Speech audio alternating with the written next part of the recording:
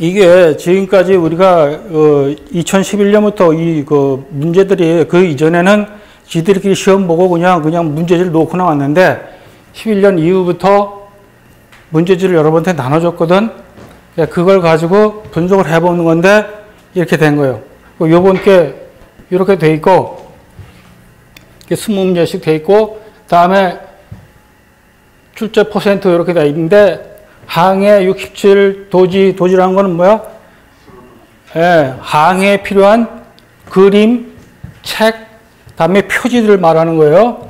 그런 다음에 항법, 항법에는 뭐 연안항법, 천문항법, 그 다음에 뭐 레이더 항법, 뭐, 아, 레이더 항법 여기 포함이 안 돼요. 같이 나 분리해서 왜냐면 레이더 항법은 좀 길어. 대양 항법이 포함되어 있고, 그 다음에 계기에는 저, 뭐야, 그, 쌍국순항법 포함한 여러분 계기, 어? 전, 계기가 전부 다 포함되어 있어. 컴파스니 뭐 이런 것들이. 그런 다음에 선박 1라면은 뭐뭐가 포함되어 있냐면은 선박 개요, 그 다음에 선박 구조.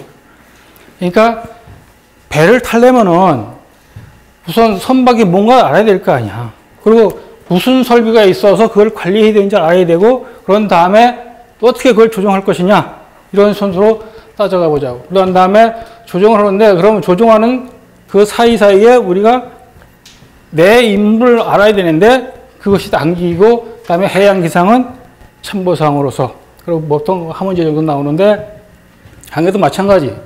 여기서 항해란 거는 우리가 관습적으로 우리가 쓰고 있는 그런 용어들, 어?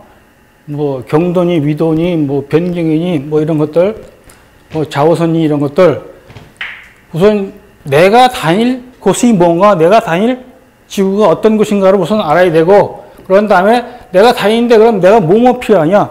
이게 필요하더라 이거야. 그림과 책. 그래가지고 선배들이 싸우는 것들을 정리해 놓은 것이 이것이고 그걸 가지고 내가 바다로 나가서 항법을 시도한단 말이야. 어? 이런 식으로 해가지고 연로되는데